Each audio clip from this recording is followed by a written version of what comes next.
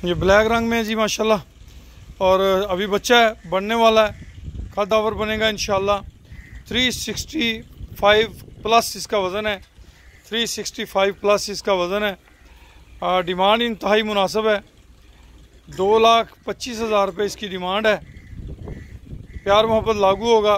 सन 2022 की कुर्बानी के लिए ये खूबसूरत जानवर है।